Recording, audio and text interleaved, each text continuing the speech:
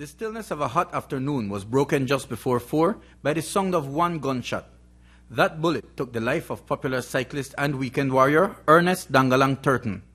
He was found curled up against this coconut tree in the backyard of this house off Cumberbatch Street behind the complex. It's his aunt's house, but since she resides in the U.S., he used to check on it daily. As police processed the scene, Thurton's family arrived. The screams of his wife and daughter rang out. They were overcome by grief and disbelief because the athlete was known as a hard-working man. He had no gang affiliation and was no street figure. His sister Lorraine believes that the motive was robbery. I just came from a funeral and I got home, but I heard the ambulance and I said, I hope that nobody for me get shot. And as I reached where they call and said that my brother just got shot back at my auntie's house at Julesville. And I came here and I saw that it was him. He normally comes behind this ear to check on He's the house. here every day. He's the one that minding the house when he's in the United States at this time. So every day, three times a day, four times a day, he's always here. No, I understand your brother is a hard worker. Um, he was on the job, right? Yes, he was on the job. All he do, ride the race and work with Santinos, that's all. He's not a troublemaker. No, he don't have no problem with nobody. You think he may have been robbed or targeted? I think maybe they think he have money or something and they just target him and kill her, that's all. Um, you could tell us a little bit about the family that has been left behind by him. I know he have a common-law wife and kids there and he may about to get married. That's all I could say. At about 5 p.m., after scenes of crime personnel were finished, police prepared to transport the body of Ernest Thurton to the morgue.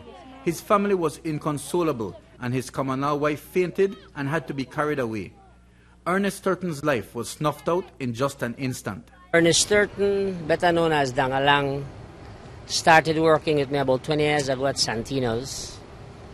Um, was a rider on Team Santino's and um, then transferred to Sancas when I did. And really was not a troublemaker at all. No, I know that uh, it's um it just happened. But can you tell us? Can you confirm to us if he was on the job? Yeah, he was on the job. He was taking some checks. First of all, he handled no cash. He's a messenger, and um, he took some checks to the income tax department. And I understand he was caretaking his aunt's house, so he passed here to either before or afterwards to, in fact, look at the house. And he apparently was lay waited at that time, no?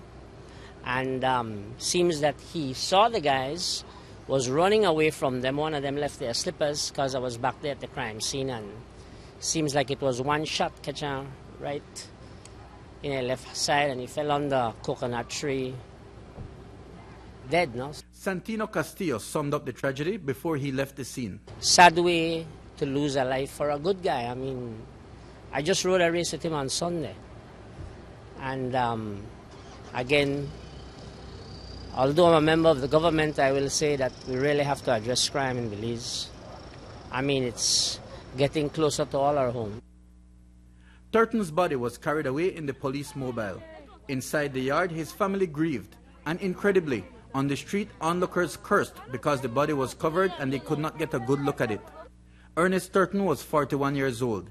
He had five children. Mike Rudon for News 5.